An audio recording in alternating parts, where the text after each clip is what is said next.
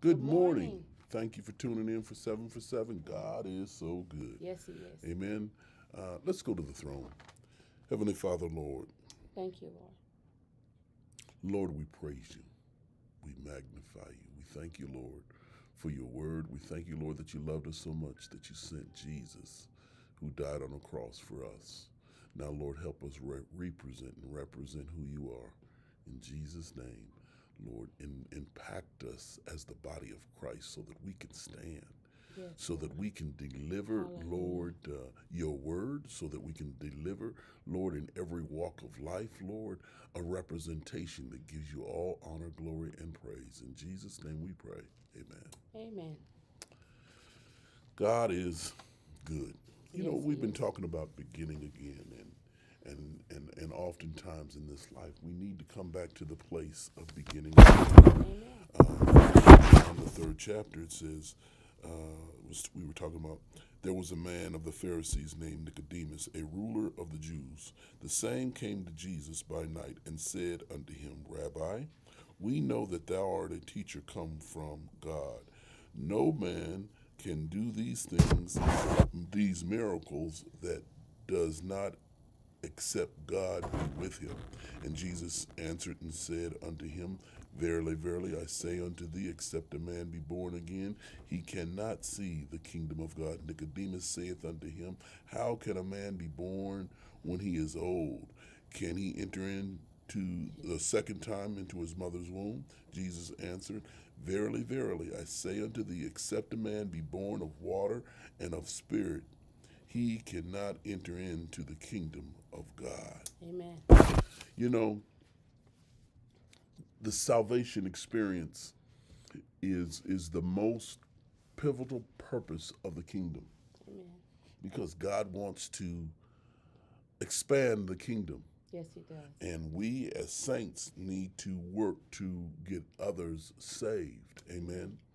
But we also have to keep on the helmet of salvation Yeah, because we sometimes we forget, you know, how we walk and talk Amen. in salvation or how you should react in salvation, Yes.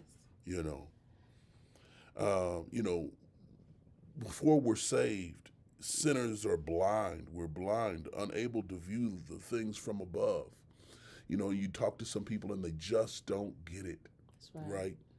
And we live in a time when the devil might even try to deceive the very elect, right? Yeah. Sinners are bound. They are restricted to their earthly possessions and promises, pro- problems. Problems, Amen.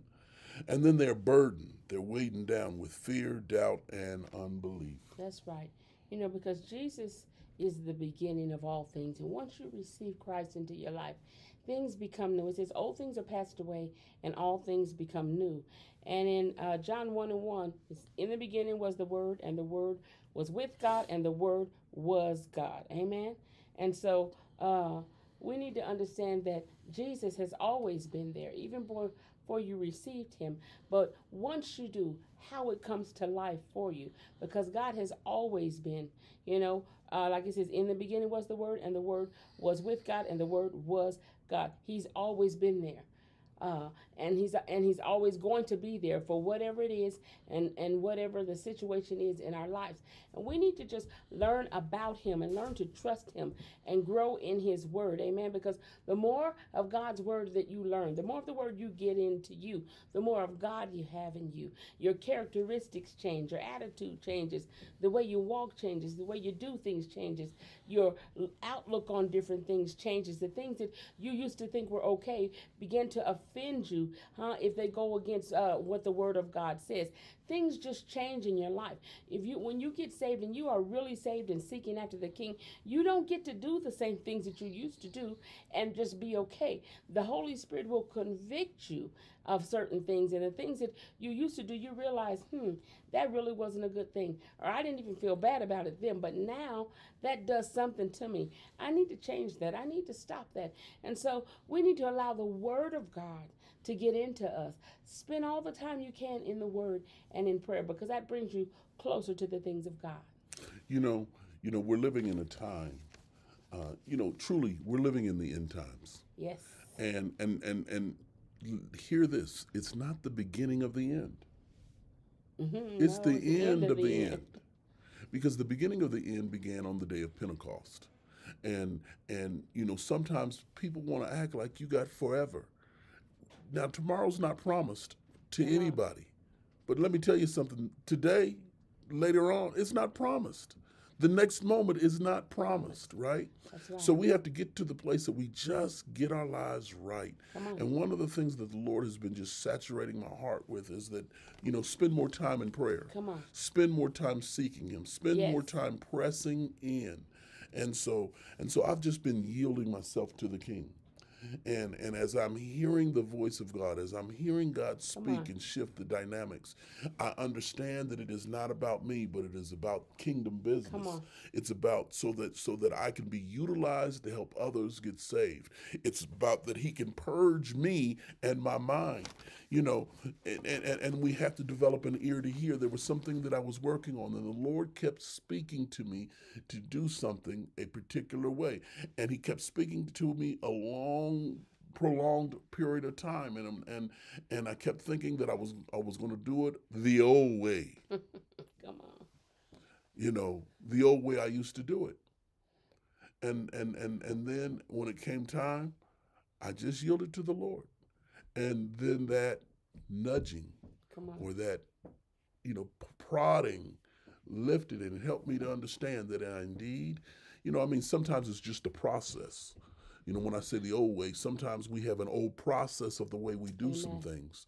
And and in your mind that process may not be wrong and it may not be wrong or but but the reality is it may not be the way God wants it to be. Amen. And so we have to be able to yield ourselves to the Lord and let God take control and know that in when he makes all things new, we got to be able to follow him in his newness because it's about kingdom business. Amen. And so, you know, it's important that we pay attention to what the Word of God says. Like Pastor Ron says, God doesn't always do things the same way because some of us think that we know his pattern and we can figure him out and we know what he's going to do and how he's going to do. You know, God usually doesn't do things the same way all the time. Amen. Because he wants you to be open to follow him. If he changes his mind, you have to go with God. I mean, if he changes what uh the way that he's leading, if God is going straight and then he turns, you need to turn when he turns. And so sometimes we have to get out of the habit of always thinking, well, this is the way it's going to work. No, only God knows the way that it's going to work. So as we grow and you seek God and you spend time in prayer, be open to allowing God to do new things in your life. Uh, be able to receive the changes or the turns or the ups or the downs or whatever He's taking you through. He's taking you through for a reason. So we need to be able to receive God in that. And we want you guys to just have a blessed day. And we will see you tomorrow at 7 4 7.